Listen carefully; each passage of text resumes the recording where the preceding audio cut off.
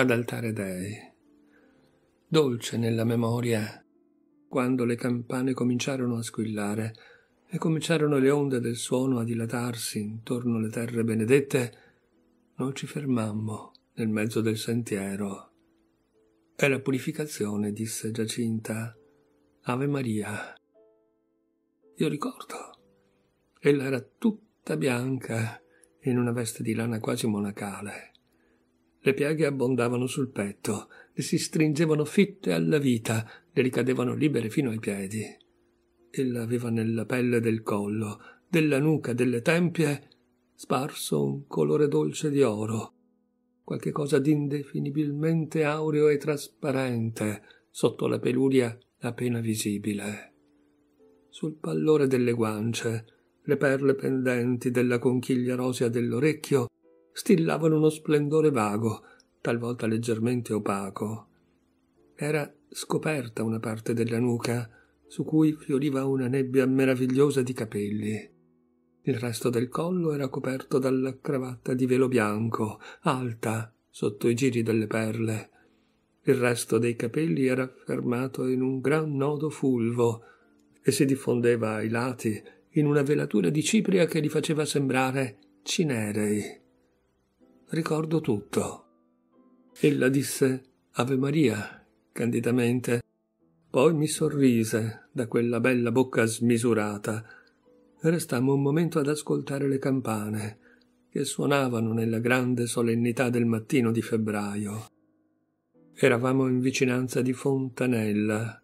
Su quelle alture lì umili vapori bianchi si sollevavano dal suolo e si fondevano nell'aria. E come le alture si umiliavano al piano, succedeva ai vapori un vivo scintillamento di brina recente. Tutto il terreno pareva cristallizzato e su quel fondo mobile di splendori gli alberi nudi sorgevano come fredde frolescenze di pietra. Da un lato un gran mucchio d'alberi di fico grigi aveva delle forme mostruose di ramificazione. Rammento ancora che certi altri alberi, dai rami numerosi e sottili, forse olmi, forse pioppi, mi dettero l'impressione puerile di giganteschi mille piedi eretti su un'estremità. Giacinta pregava. Vedevo le sue labbra muoversi al proferire sommesso delle sillabe.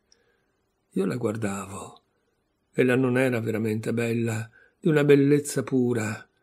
Nel sorriso la bocca le si allargava salendo ai lati verso i lobi degli orecchi, ma i denti avevano una nitidezza gemmea.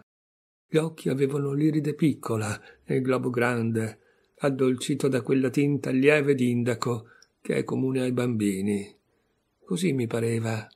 Già ella aveva messo nella mia puerizia vergine un turbamento, qualcosa che somigliava a un germe d'amore.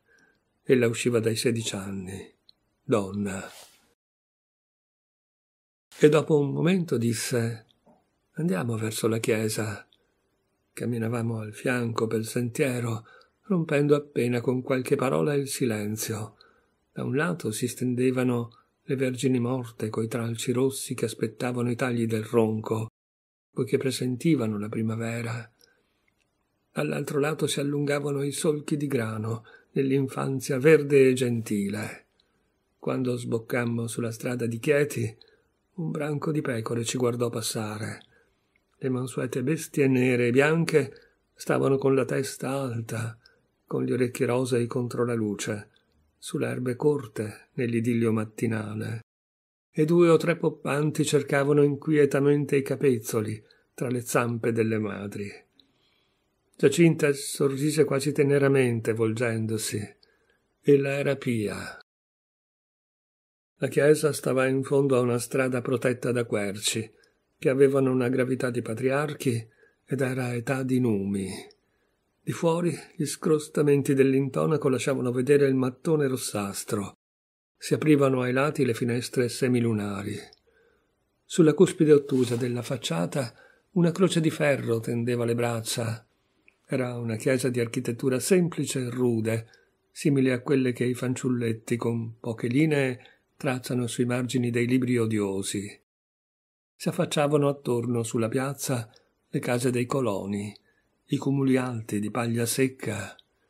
Io conservo ancora un'impressione di colore, le pignatte di terracotta vermiglia su certi fusti d'albero, contorti altissimi, in quel cielo d'un azzurro così spirituale. E ho ancora dinanzi la faccia cava di quella femmina malata che ci tese la mano per l'elemosina sulla porta, una faccia d'una tinta indefinibile, dove di vivo non restavano che due occhi tristemente glauchi di rospo solitario, nell'ombra di un fazzoletto nero a piccoli fiori gialli legato sotto il mento. Una mano che faceva pensare alla palma pelosa dell'anatra. Entrammo nella chiesa, io e Giacinta, tra la folla. I contadini ossequienti ci lasciavano passare, nella gradevolezza dell'olio che si portavan lucido ai capelli. Giungemmo nel mezzo, dove cominciava digradando verso l'altare la messe delle cristiane inginocchiate, una gran messe varia di teste, coperte dai fazzoletti di seta gialla, rossi, neri, a palle, a strisce, a fiorami.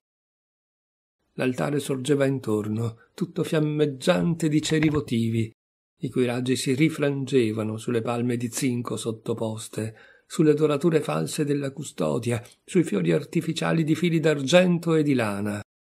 Presso l'altare da una eminenza, la Vergine sovrastava alla turba dei fedeli. La regina delle Vergini, tutta bella nella veste di raso azzurro a ricami d'oro, tutta gloriosa nel diadema di metallo bianco a grosse pietre gemmanti, tutta illuminata dall'adorazione di quelle anime peccatrici che supplicavano il perdono. Io e Giacinta eravamo rimasti in piedi, stretti l'uno contro l'altra dalla pressione della folla, silenziosi, guardando. Nell'aria già fatta tiepida da tanti aliti umani, in mezzo alle esalazioni della turba, nuotavano gli odori acuti delle giunchiglie, delle viole e del rosmarino. Un chiarore cupo scendeva dalle finestre semilunari coperte di tende rosse. Non si udiva che il soffiare dei mantici sull'organo e a tratti, quando uno apriva la porta per entrare, la voce lamentevole e rauca della mendicante malata. Introibo ad altare Dei, ad Deum, qui letificat juventutem meam, cominciò il prete ai piedi dell'altare. Giacinta stava immobile, ascoltando. Ella sola era in mezzo a tutto quel tumulto di colori, nella penombra, Ella sola era diritta ed esile, emergente come un gran fiore d'acqua che si protende verso la luce. Ed ella credeva, ella era pia. Accanto a noi, rammento, s'alzava una specie di tabernacolo di legno scuro, chiuso da tre vetrate, che custodiva il simulacro di San Rocco, in gesso dipinto. Stavamo sotto la protezione del santo.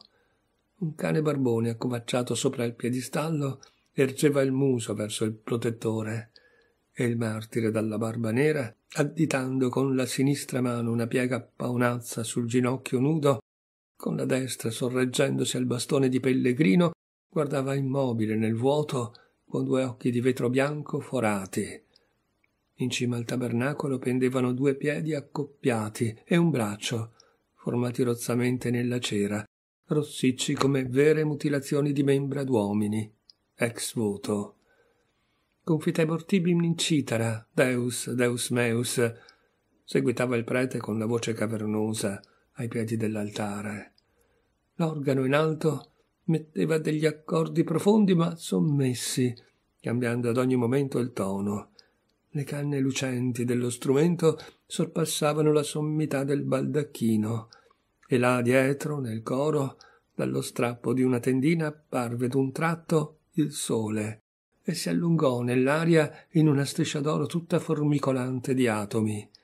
Una parte del Cristo crocefisso si disegnò scura su quella striscia gloriosa. Gloria Patri, et Filio, et Spiritui Sancto.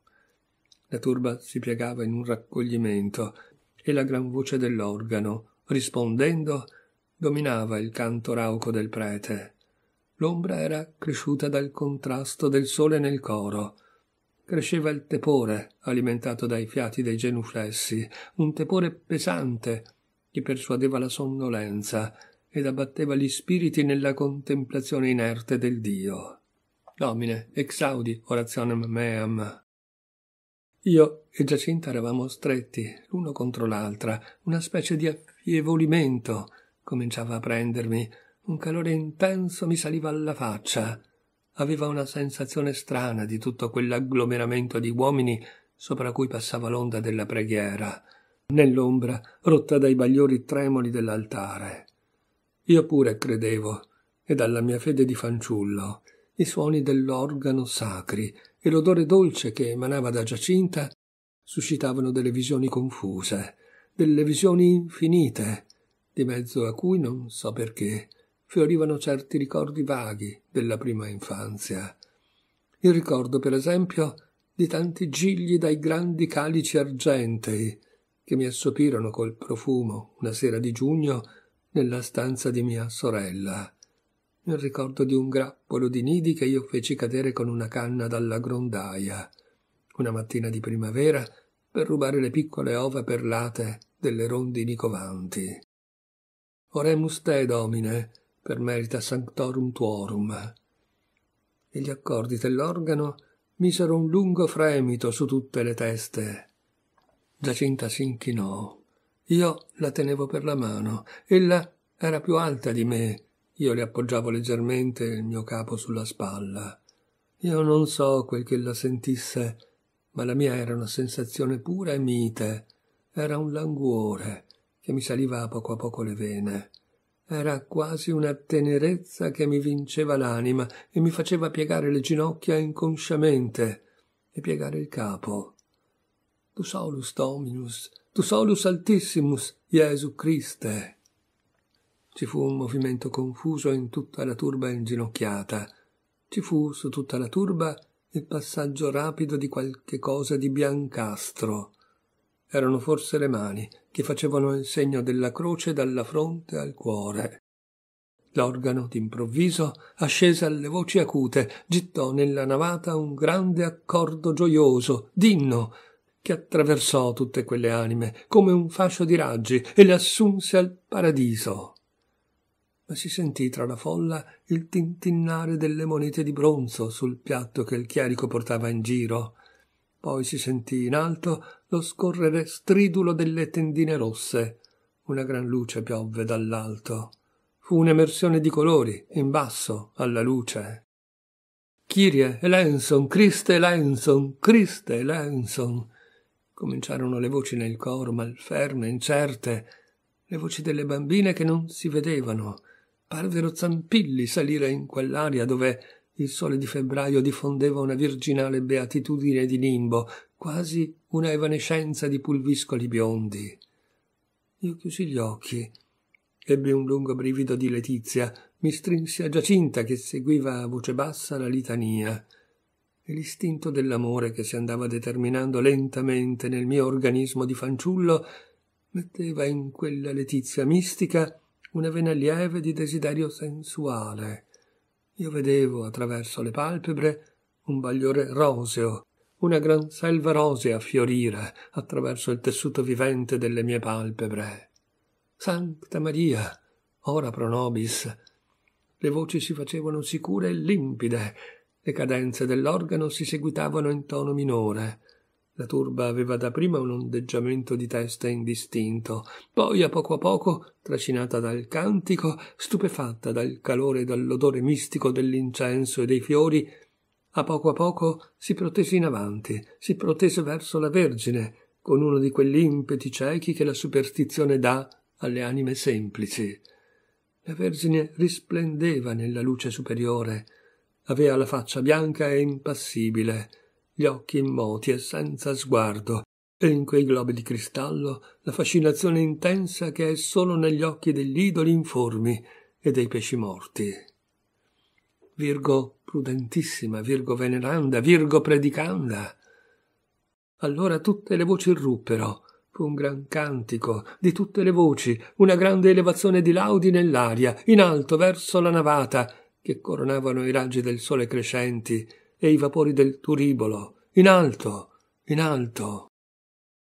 Rosa mistica, turris davidica, turris eburnea, in alto, una tenerezza infinita di amore invadeva la turba genuflessa, un soffio ardente e dolce passava sopra tutte le teste e le prostrava nella preghiera sul pavimento. Consolatrix afflictorum, ora pro nobis. Giacinta cantava anch'ella, reclinata, con un rossore spirituale sul volto, con lucidi gli occhi, vibrando come uno strumento sonoro. Io non avevo piegato le ginocchia, non v'era spazio intorno a me, ma una luce di sbigottimento folle mi teneva, perché io solo soprastavo a tutti gli altri in giro, e quelle creature umane così prostrate, così ciecamente imploranti, quella vivente massa di materia da cui irrompeva un così alto inno di passione quasi inconsciamente, e quel sole che empiva la navata e qua e là s'abbatteva sui dorsi, e quei vapori strani, ora nauseanti ed ora celesti, e sopra tutte le cose quella Madonna immobile e rigida, quei santi immobili e rigidi guardanti nel vuoto, mi davano uno spettacolo pauroso mi sconvolgevano la piccola anima incolta. E l'inno cresceva, le litanie ascendevano, pareva che a lungo fremito le canne dell'organo scoppiassero. Regina Virginum, Regina Sanctorum Omnium, ora pro nobis. L'agnello di Dio veniva ora nel cantico, l'agnello di Dio che scancella i peccati del mondo. Era l'ultima elevazione delle laudi. Ora pro nobis, Santa Dei Genitrix. L'organo cessò, si propagò il rombo della navata e il rombo cessò. Si faceva nella chiesa un silenzio, dove i credenti ancora prostrati respiravano gravemente. Poi tutte le fronti si rialzarono, tutte le mani si levarono nel segno della croce. Un bisbiglio corse nella turba. Dalla porta aperta entrò un'ondata di aria libera purificatrice. Dal coro venivano voci rotte. Dietro l'altare si vedeva un ondeggiamento confuso di stendardi. Io e Giacinta eravamo ancora sotto il tabernacolo di San Rocco. Quando sollevai gli occhi verso di lei, ella mi sorrise, ma io non so ora fermare nelle parole quel sorriso. Fu come il passaggio di qualcosa di benigno e di luminoso sulla sua faccia, che restò triste. Non fu un moto della bocca né degli occhi, no. Parve, ecco, quasi un bagliore, che accendesse il profilo pensoso di una statua bianca. No, neppure. Io non trovo la frase. Restammo dopo in silenzio, aspettando che dalla sagrestia cominciasse a svolgersi la processione. Alla porta, sullo spiazzo, un gruppo di uomini vociferava. Si metteva all'incanto la gloria di portare sugli omeri il peso dell'immagine di Maria. Cinque cardini, un ducato, due ducati. La turba aspettava. Quasi tutte le femmine, le mani incrociate sul ventre e negli occhi uno stupidimento smorto. Gli uomini guardavano verso la porta con un mormorio. In mezzo a loro, nel solco lasciato libero, sul pavimento cominciò a muoversi una massa incerta, nerastra, un mucchio di cenci, e a strisciare lentamente verso l'altare. Due ducati, tre ducati. Da quel mucchio di censi usciva una testa umana. Come dal guscio di una testuggine sbuca la testa verdastra, tentennando. Era la mendicante malata. Io la riconobbi con un brivido di ribrezzo, perché ella non aveva più il fazzoletto che la coprisse. Appariva un cranio deforme, pieno di rosicchiature simili a un teschio di sotterrato, dove ancora rimanesse qualche ciocca di capelli grigi e qualche avanzo di cotenna rossiccia e quel cranio veniva innanzi sul pavimento, spinto dal corpo che le palme delle mani e le ginocchia sorreggevano. Tre ducati, tre ducati e mezzo. La mendicante faceva tante croci con la lingua sui mattoni in gloria di Maria. Voleva andare sino ai piedi di Maria, voleva essere degna di baciarle il lembo della veste. Raccoglieva le forze, contraendosi, puntando le dita dei piedi scalzi. Dai due lati del solco la gente guardava con l'indifferenza di chi è avvezzo a uno spettacolo di orrore. Ma sopraggiunse un uomo alto, vestito di una cappa turchina, con un gran naso adunco, iroso. Percosse col piede la mendicante, la rialzò brutalmente da terra, la trascinò fuori della porta. Via, via! Tre ducati e mezzo, quattro ducati. L'incanto era finito. Dietro la sagrestia cominciò a squillare il campanello. Poi d'un tratto un grande scoppio di campane in alto fece tremare la chiesa dalle fondamenta i primi stendardi si mossero, orizzontali. Uscirono dall'aria, si raddrizzarono e sventolarono. Erano due stendardi violacei con letrine d'argento. Ding dong, ding dong. Si mossero gli incappati azzurri con i ceri accesi, a due a due in fila. Ding dong, ding dong, dang si mosse un terzo stendardo altissimo di scarlatto cupo orlato d'oro con una palla d'oro in cima all'asta. Din don dan. Si mosse il cristo gigantesco inchiodato sulla croce tutto chiazzato di lividure e di sangue portato sulla bocca dello stomaco da un uomo mambruto sorretto da due altri ai lati din don don don gli strumenti d'ottone cominciarono una marcia trionfale. I mortaretti saltarono. Si muoveva alfine la Vergine delle Vergini, la stella mattutina, la torre d'avorio, in mezzo alle grida del suo popolo, e usciva al sole, usciva a spargere la benedizione su tutte le campagne seminate. Alleluia! Alleluia! La turba delle femmine e degli uomini tracinata seguiva lo scintillare e l'ondeggiare del manto, in alto, gli stendardi investiti dal vento sbattevano e si attorcigliavano alle aste. Nella strada la polvere si sollevava a buffi, involgendo tutta la pompa. Il baldacchino rosso oscillava sui quattro sostegni dorati, minacciando i preti cantori. Io e Giacinta vedemmo allontanarsi la processione tra le querce patriarcali. Vedemmo gli ultimi sventolamenti violacei nell'aria chiara. Vedemmo brillare la croce sul diadema della Madonna perdersi poi tutte quelle forme mobili nel fiammeggiamento del sole che proteggeva la campagna deserta.